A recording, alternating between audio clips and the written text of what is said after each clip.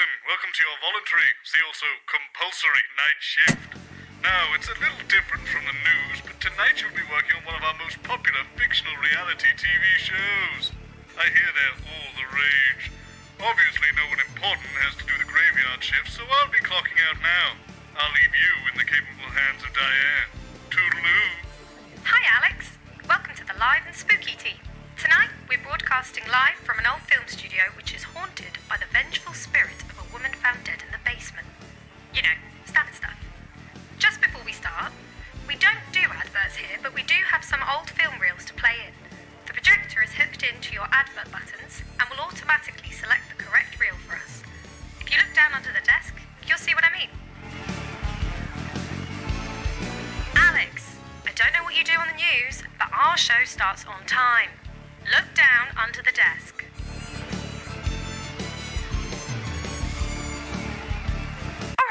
Suit yourself. Good luck with the ads. Bozeman do ask me to do a performance review, you know. Just remember to hit the ad button at the end of each segment to play the films. Oh, and that device on the right, that's the Spirit Jammer. It prevents any wayward or malicious spirits from interfering with the show. Honestly, Gareth knocked it up in his garage and I don't think it does anything. But he assures me it's set correctly, so just don't touch it, I guess. Another of the country's great buildings in Adrian's Architects. And let's not forget our late evening film tomorrow night, Schrodinger's Cravat, a tale of the forbidden love between a mathematician and a costumier set in the early 1800s. Not one to miss. That's just some of tomorrow's treats here on Channel 1. But now, without further ado, it's time to turn out the lights. All right, Wayne, we're going wits live at about you five. As we pass the airwaves over to the paranormal. Are you receiving me, Wayne? Can you hear that?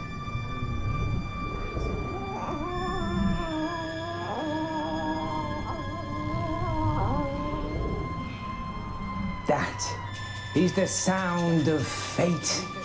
Have you ever heard fate creep up behind you with a dagger in its back and a hallelujah on its lips?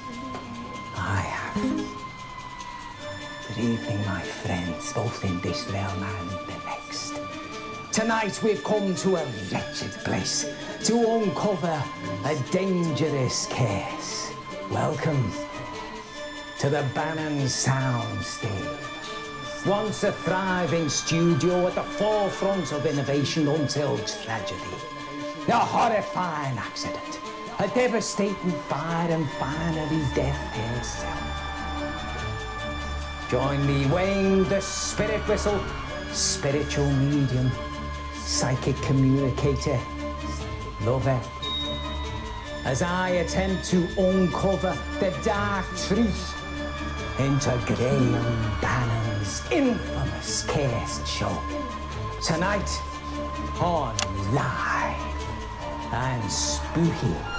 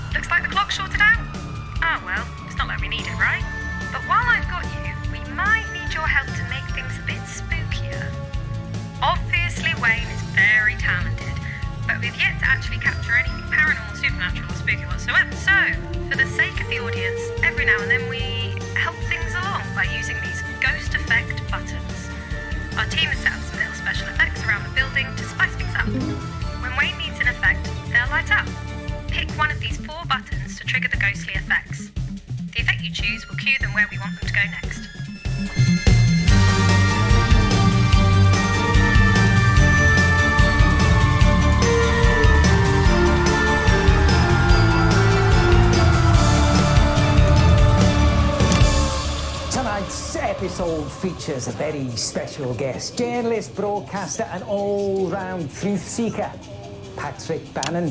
Good evening, Wayne. You excited to join us tonight? I'm excited, Wayne. Uh, can't say I'm excited about all this dust, though. It plays havoc with my allergies. Now, Patrick. Oh, what's that, love? Oh my, my Patrick. I'm hearing from the spirit world. I'm hearing something that might shake your world to its very foundation. Is it true that you are, in fact, the one and only son of Graham Bannon? Oh yeah, I mean, everyone knows that, yeah. The EMF reading is off the charts. And of course, we're joined as usual by our paranormal investigator and supernatural scientist, Dr. Ahmed. Excuse me, Dr. Ahmed, what is an EMF? Oh, forgive me, Mr. Bannon, I'm so sorry. Sometimes I forget that not everyone is as well versed in the terminology as myself and Mr. Spiritwhistle here. So, EMF stands for electric magnetic field. Essentially, it is a measurable energy signature given off by all forms of spectral phenomena. Mm-hmm. And that thing being off the charts, is that, is that a good thing or is that a bad thing for us? Well, I mean, higher tends to mean that there is either a stronger presence or even multiple presences. Hmm. and of course, seeing that we're in the business of hunting ghosts, I'd say yes, it's definitely a good thing, Patrick. Hmm. Words to trust there, Mr. Bannon. Our doctor here is the foremost expert in metaphysical science. What do you have for us this evening, pet? Well, I've actually stumbled onto something of a breakthrough here, Wayne. I've managed to actually expand the light spectrum visible to the human eye by refracting it through a specially vibrated flat prism. This cutting edge technology actually allows us to see into the spirit world. Ah, yes. Let's get the ghost cam switched on. Cathedral oscillating optoelectronics. Boom! Ah! What was that for? Branching, oscillating, octahedral optoelectronics. Yes, exactly, that's what I said. but of course, I do need a shorter name for that now, don't I? Boom! Ah! Please stop doing that. Yes, Mr. Bannon, please do stop scaring poor Dr. Ahmed. Please continue, Doctor. Thank you, Mr. Spiritwhistle. So, tonight, we will be utilizing, utilizing my standard surveillance kit, which of course includes night vision capabilities, should we come into any problematic darkness, let's say. Oh, and additionally, I have taken the liberty of installing my branching up um, new devices all over the building. Tonight, we might actually be able to broadcast the image of a ghost first time. Oh, exciting stuff, that. Now, Patrick, your father built this place at the height of his illustrious career. That's right. The year was 1956. Hot off his success in music hall venues and comedy clubs around the country, Graham Bannon suddenly produces a TV script. A script that blows the mind of studio execs and leaves them scrapping over who will get to make it. It was called Dying is Another Man's Job and starred Graham as the daring do-gooder Percival Peril. It was set to be a tour de force for your father, launching him to superstardom. Ah, but it was to be the start of something much more sinister. Three disasters struck, each more calamitous than the last. And shortly after the tragic events that haunted this very building, Graham Bannon suddenly disappeared from the limelight, never to be seen in public again. Never to be It broke him. This place, the curse. My father had it all. Charm, talent, the weaselish good looks of a meerkat or some sort of stoat animal. But fate came in and cruelly stole it all away. Uh, built in 57, the Bannon Soundstage was to be the home of a brand new televisual sensation of a scale never seen on our screens before. But that damned woman, Ah, the spirit. Doomed to roam the wings and the halls forevermore. An unfortunate accident, a raging inferno, and a tragic loss of life. Left these walls cursed forever.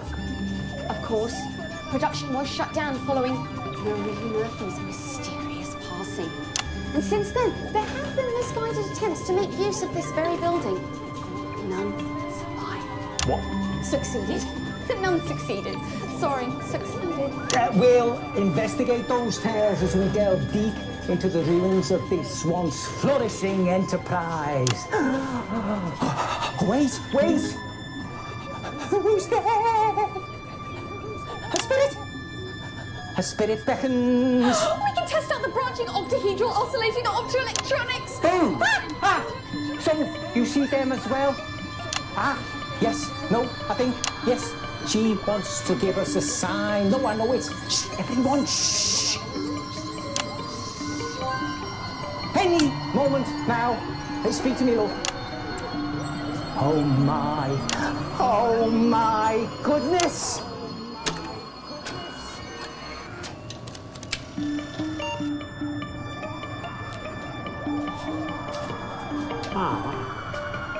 Are we getting this? Tell me we're getting this. My God, It looks like what a jellyfish would see. On acid. she's showing us something. Some sort of light. Yes, light. The only place in this building with lots of light. The stage. Exactly. Quickly, the departed are patient.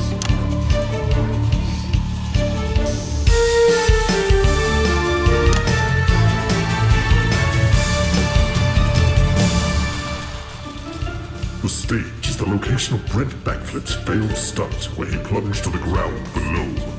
It is situated above the long sealed vault and the dark secrets it contains.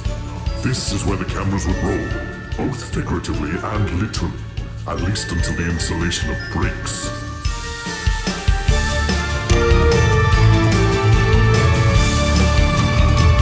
Yes, yes, this is where they wanted to bring us. The stage, the scene of the accident. How are you feeling?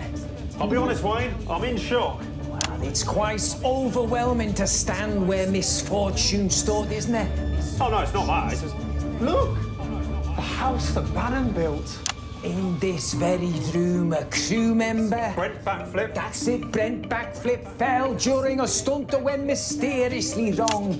Surely the spirits will lead us to the truth. Yeah, the truth is certainly vital to this process. Yes, I sense a lot of conflict. Hey, you can say that again, mate. Uh, a walking conflict based on the little uh, my father told me. Uh, he was a drinker. Yeah, alcohol? Mainly, yes. By all accounts, he played by his own rules. A criminal record as long as me arm. Wow, that long. Yeah, that long. My father knew he was a wrong un, but he hired him anyway for his immaculate moustache and his impeccable pecs. A decision he stood firmly by. As I suspected, conflict. The energy is staring around us, Patrick. It's as if we've angered it. Is it? We are your servants, wispy ones. Lead us closer to the truth. Ah, do you hear that, Patrick? I, I, I can hear something actually, yeah. It sounds to me like an old song, probably from the show itself. You're right, it's the theme tune to that show. He used to hum it all the time while he was reading and then burning all of his fan mail. Well, there's no time to lose. Let's go see what this spectral sign entails.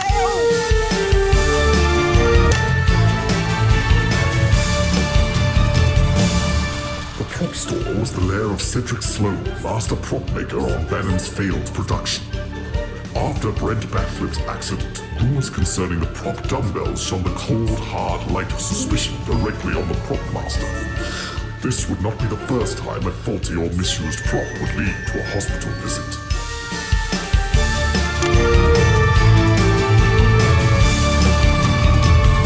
The prop store, vital to every production, and this one was no exception. Please do come in, Mr. Bannon. Does the name Cedric Sloan mean anything to you? Not really, should it? Well, perhaps from what we could dig up, he was the prop master during the making of Dying is Another Man's Job. A very vital role, would you not agree, Mr. Bannon? Uh, I suppose so, yeah, it would be, wouldn't it? Not only that, but he was a military man, dishonorably discharged, no family to talk of, no friends, just his work, and then the accident. Yes, you're right. I remember now. Uh, something about him making a prop that was too heavy, and then that could have been the reason Brent failed or something. Ah, so you do remember Mr. Bannon. Well, the stories surrounding Mr. Sloan are intriguing, to say the very least. We do know that there was no love lost between him and your father. From what we can tell, Cedric Sloan claimed that Mr. Bannon Sr. looked down on him and the rest of the crew, believing he was too good for them. Now, that kind of attitude breeds resentment. And if there's enough resentment, that can attract some very nasty spirits, Mr. Bannon. No, no, no. I'm not, I'm not sure any of this is fair on my father. I think by all accounts, he didn't even know that man existed. It's hard to look down on someone you don't even talk to. But wasn't it true? The props were your father's idea. He insisted the stuntman keep them on him during the climb despite their encumbrance. I think, I think we can all agree that the character of Percival Peril would have been a bit lesser if it hadn't been for his signature dumbbells. And I challenge you, mate, to look heroic without performing a quick bicep curl. Signature indeed, or perhaps signing a potential death warrant, rather than creating the iconic story your father wanted. After all, with all these props lying around, there was ample opportunity for Cedric Sloan to exact his revenge. If that's what he wanted. Yeah, well, it was an accident. That's what everyone decided, didn't they? So. Ah, but was it the truth, Mr. Bannon, or is something more sinister at work here? I think we need to dig a little deeper to find out. And may be about to get some help with that. Yes, spirits, rise, rise! Right, please, thank you. Where does our journey lead? Show us! Did you see that? She threw something at me! Must be like some sort of poltergeist. It's a tie! The spirit must be showing us where to go! Or if the design's anything to go by, it's a cry for help. Huh. Uh, come on, Wade, mustn't anger the spirits.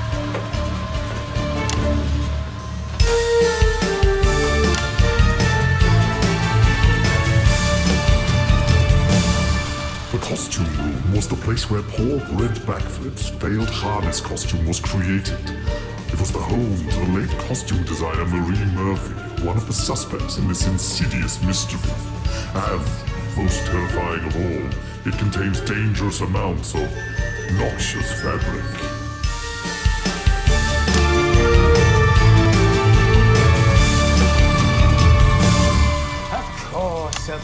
The old wardrobe department. This makes perfect sense. What do you mean? Well, it makes perfect sense that the dead girl would bring us to her workplace. Ah, the scene of the bloody crime, more like.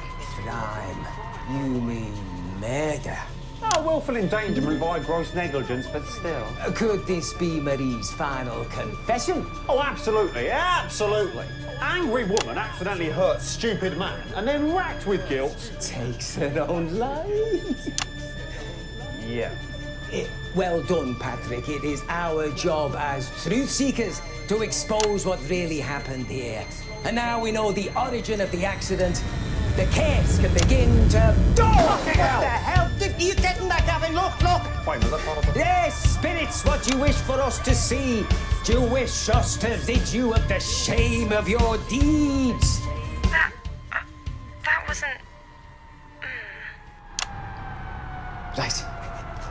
Eh, what do you make of that? Uh, looks like a lot of paperwork from Bannon Productions. Uh, invoices, receipts. Uh, look here, we got got a cancelled purchase order um, from uh, from from a high-grade nylon polymer. Um, and instead they placed an order from cut price Keith's cut price cloths. And a letter.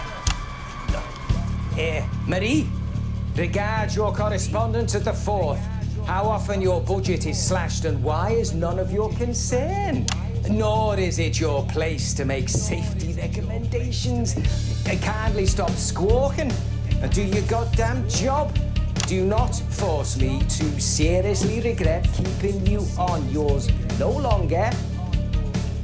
Graham T. Bannon. Let me see that.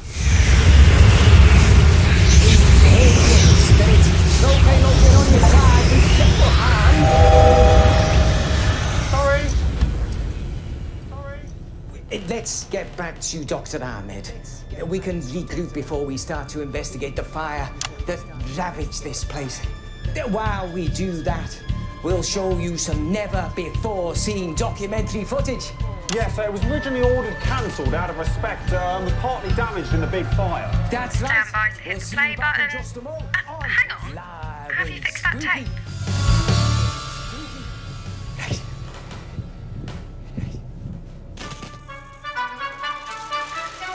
Host, Harold Repartee, and this is the nation's Nightfall Report. Tonight we bring you a special program where we take a closer look behind the scenes of a forthcoming television sensation. Masterminded by Graham Bannon, seen here at the Chesterton Casino, the project is, as yet untitled, promises to revolutionize entertainment. Bannon has just completed construction on this state-of-the-art studio and production facility, and despite his apparent fortune, Bannon decided to seek outside investment for this extravagant expenditure. With a price tag into the millions, it's a move that has raised eyebrows across the business world. Rehearsals are now well underway here, and it seems Bannon is quite the taskmaster.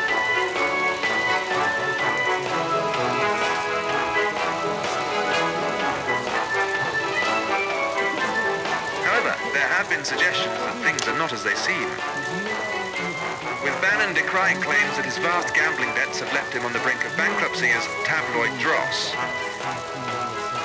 It's certainly unexpected for a family variety act to be catapulted so quickly into the spotlight. But if the executive's queuing around the block or anything to go by, these new scripts of his must be really something special. Welcome back to Live and Spooky, where we've just had a breakthrough.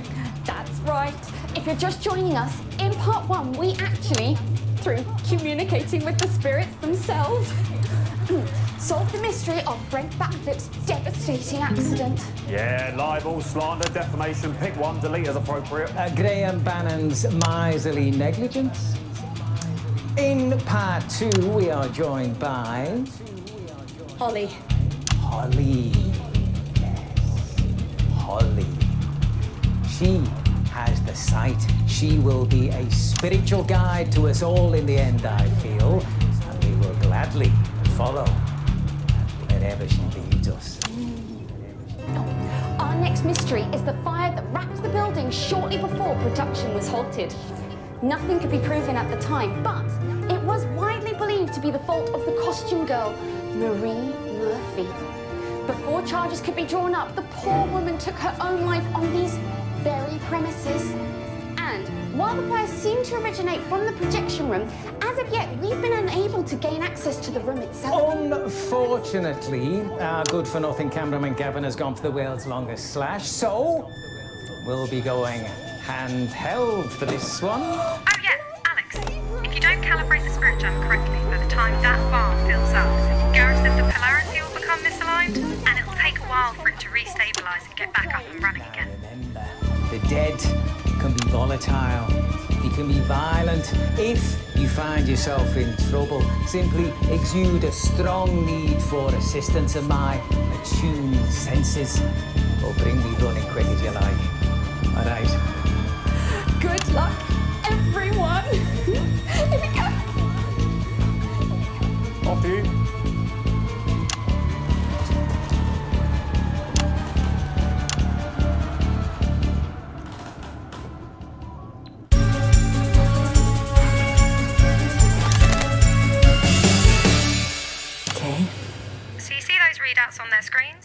That shows how safe they are from spiritual like to tell you where interference. I? They're nice and calm and green, so no problems there. Towards the stage area. Hello? Be back. Spooky ghost echo. You know, I don't actually remember agreeing to specifically wander around in the dark on my own. What is that? It's a light. It's a light switch. So. Uh, okay. I seem to be in a sort of, as you can see this, in a sort of uh, uh, lighting thing now. Okay. Can't much longer, can it? I've got. There's um. Can you see this? Oh god.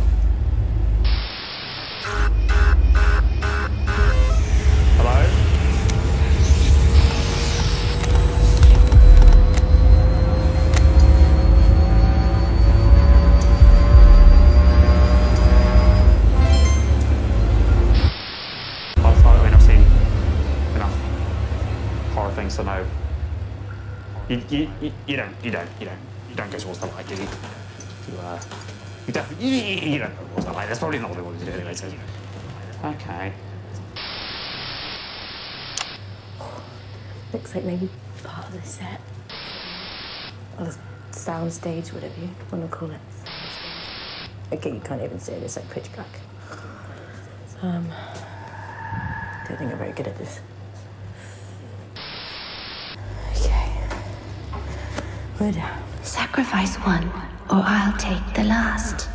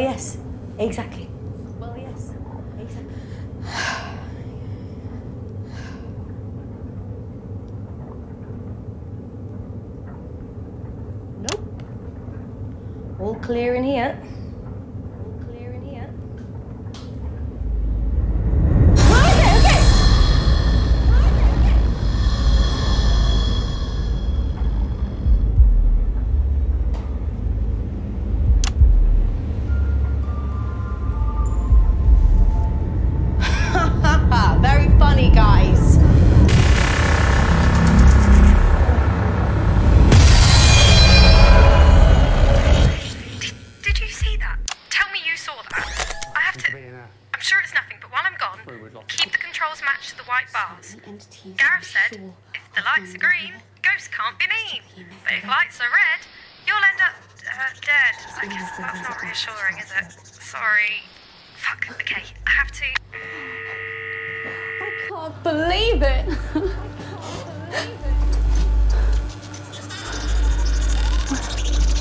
oh, these, even if we use it off the chance to get as close, some kind of spiritual energy through them.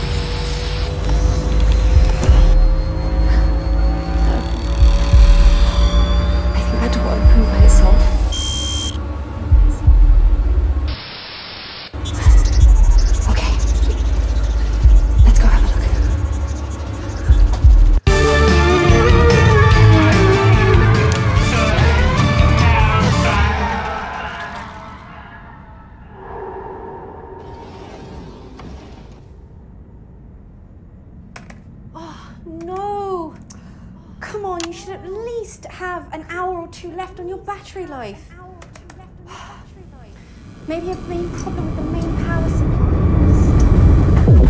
Oh! oh. A kinetic manifestation. 14 teragals. I've never seen such a powerful presence before. Thank you. This is an honor.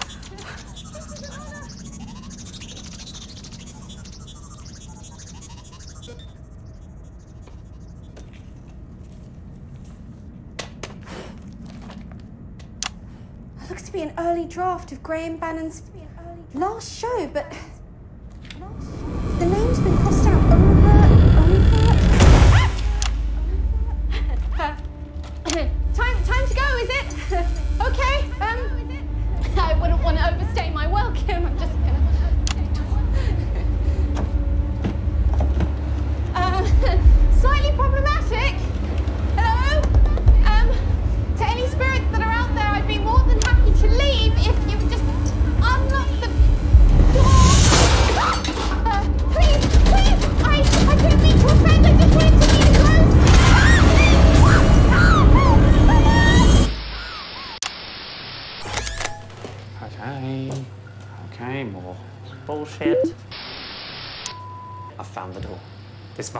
out.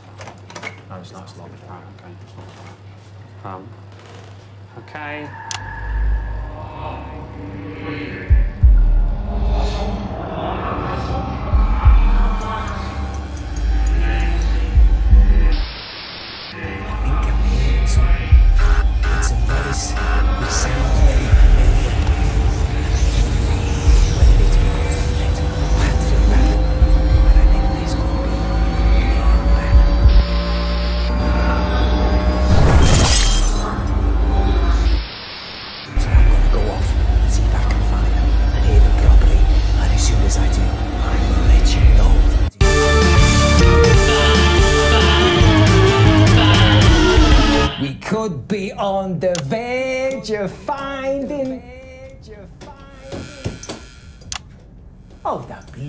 Thing's broke.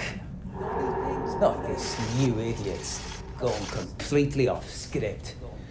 Diane, Diane, I'm there from you in a while. Diane, I'm there from you in a while. Diane, what the fuck is Diane? I need more info on this Holly. She got a dead dad or what? What's my angle? Diane. Diane. Oh, for fuck's sake. Your when you're causing a scene. No! This is not what we agreed, Graham. This arrangement is better for us both. Is it? Because I fail to see how I'm better off. Doing you a fucking favour. You should be paying me for an opportunity like this. That's money. You want more money? I don't care about money. I want what I deserve, Graham. Exactly what you deserve. I'll tell them. And who'll believe you? Seriously, who will believe you, Marie? You're a woman. Yeah, I am. But at least I'm not a fraud.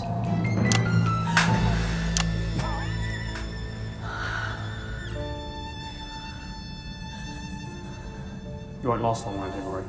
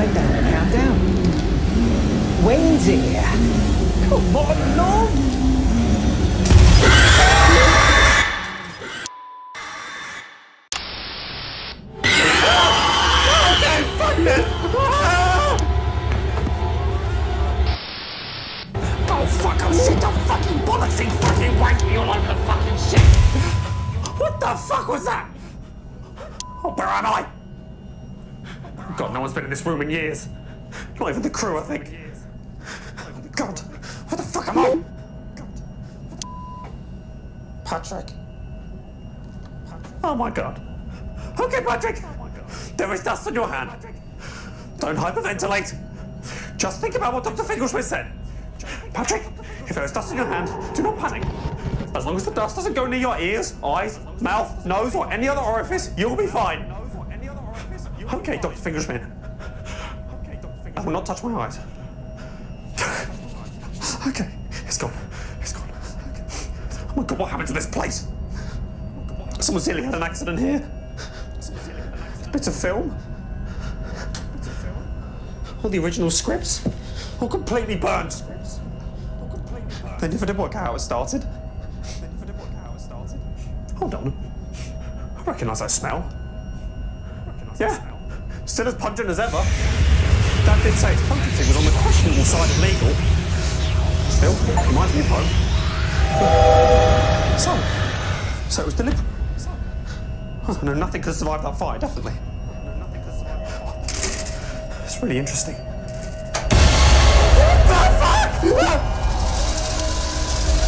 What the fuck is that? Oh, it's a projector. Who lays an old projector lying around in the projector in the projector room? Right, I'm in the projector room, fine. Oh, for God's sake. Great. So I'm gonna die here in the projector room. While everyone else is dying, God knows where. Oh, why did I agree to this stupid fucking... Wait, does that... Does that say...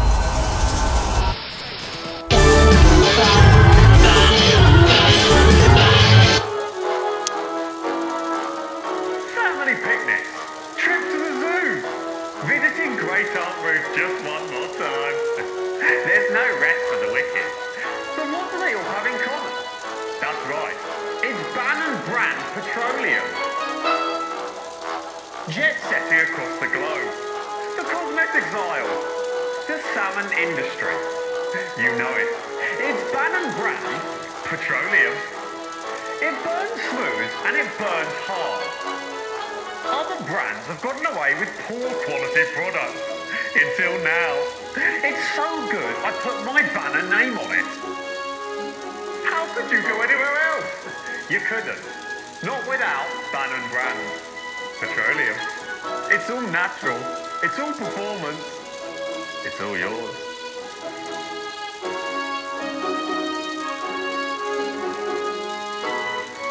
And that's a Bannon promise you can trust. In fact, you can drive it all the way to the bank.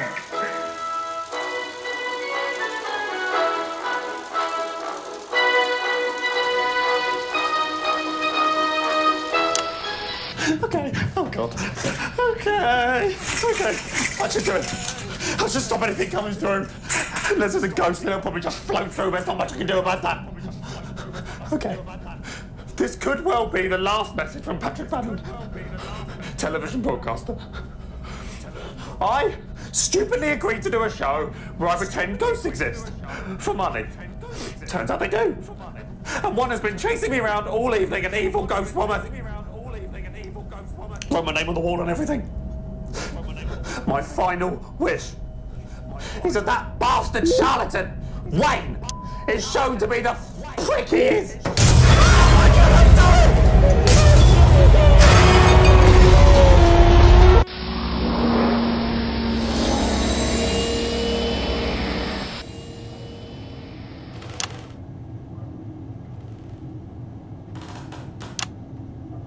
I Don't know if anyone's hearing this, but I think I'm beneath the stage.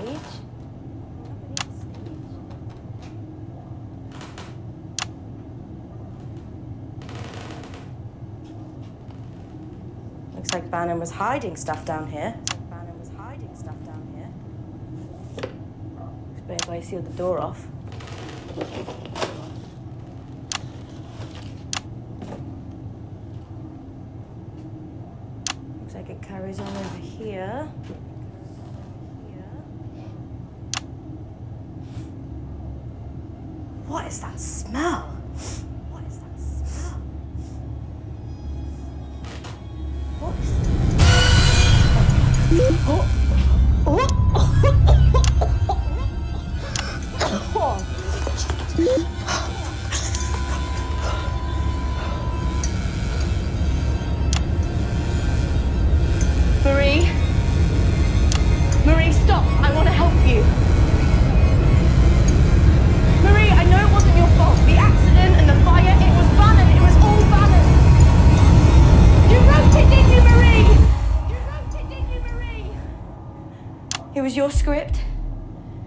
Idea, and he destroyed it.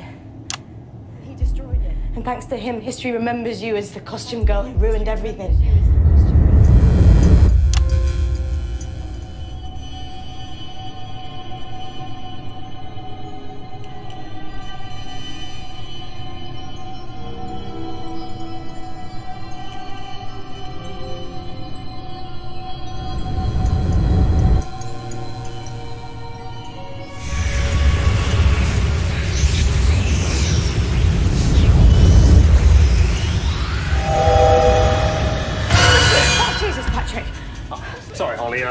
Quite quietly, don't I? My limbs are particularly aerodynamic. I thought you were dead. Uh, no, no, no, no, no, not, not, not dead. Um, no, Diane found me upstairs, hide a cow. I was upstairs, and she came to find me, and then I thought I'd come find you. Be careful with that. It's really important. Marie, the spirit, whatever, she wants us to see it, and I think if we play it, nobody else is going to get hurt. You're right. What? But you're- you're talking a lot of nonsense about spirits and, and ghosts, and don't forget it's not real. What, what do you mean? You saw No, no, no, I didn't. It's a TV show. Remember, people press buttons, things jump out. Ah! No, bullshit.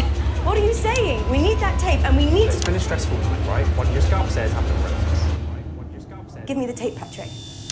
Diane's called an ambulance, uh, should be here any minute. To check you out. Give me the tape, Patrick. Why, why, why, why? You knew.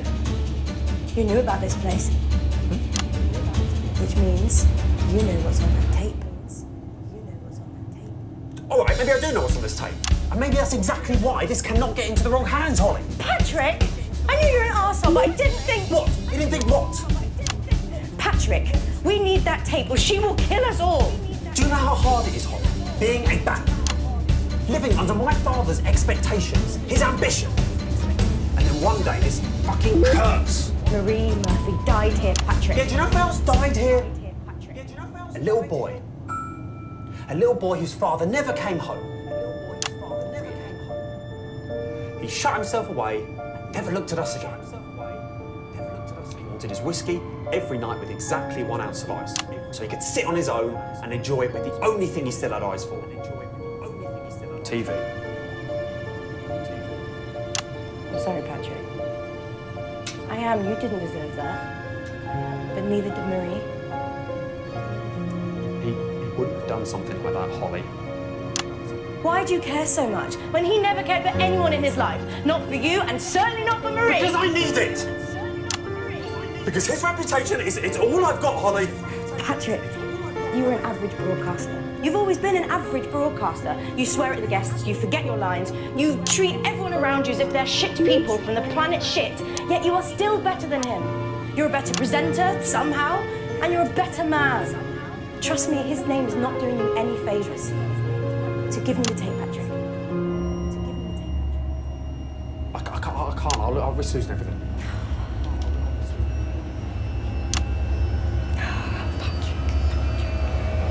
That is a shame. Oh, what the? Ah! Sorry, Patrick. Oh, and I lied before. You're a shit person, and an even shittier news broadcaster.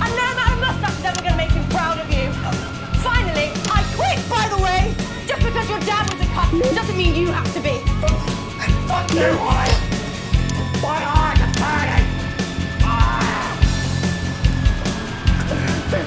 me, Holly! I'm gonna work again! Don't put me on the spot test! Don't put me on the spot test!